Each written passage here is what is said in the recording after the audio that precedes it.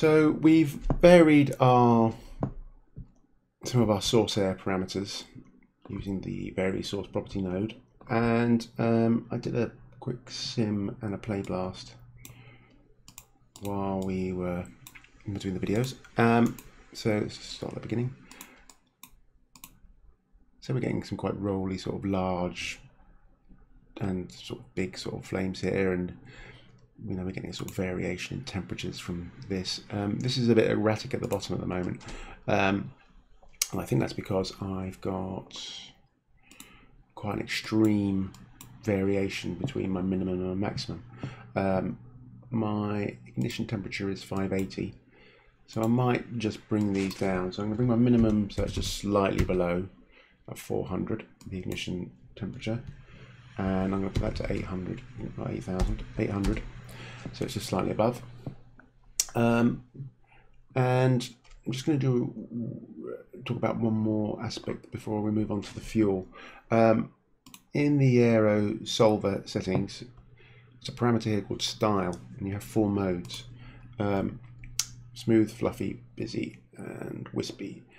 And these are, what did it say they are? It says in the info, um, boom, boom, boom. Style is a spatial interpolation scheme used by the solver when transporting the fluid properties forward in time. The interpolation schemes are named by their visual characteristics and defined as follows smooth, fluffy, busy, and wispy. So I've done a did a sim and I just changed the properties, the mode from fluffy to smooth for each of them.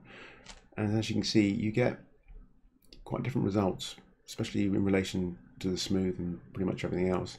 Um, and smooth is probably quite good for things like cigarette smoke, that sort of sort of slow, you know, wisp, not wispy, but you know, it's sort of nice sort of smooth bits. Um, but for explosions and things, probably better to go with one of these three. Uh, add helps add more detail almost straight away.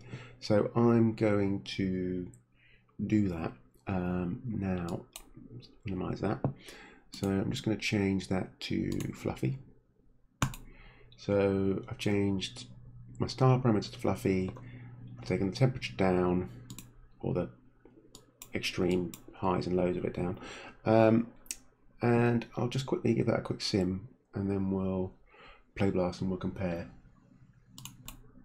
Right, so I've simmed that out. This was our, just at the beginning, with just uh, varying the sources of source properties and then the extreme temperature. And this is our new one where I've changed it to fluffy and I've moderated the temperature a bit more. Um, as you can see, getting a very different result already. I mean, there's a lot more detail in this one. Um, getting some nice sort of billowing flames there get less of this sort of large, sort of uh, well, these sort of bulbish sort of sort of flames there. Um, so you can see just from changing those two parameters, um, getting you know a completely different and you know a more interesting result already.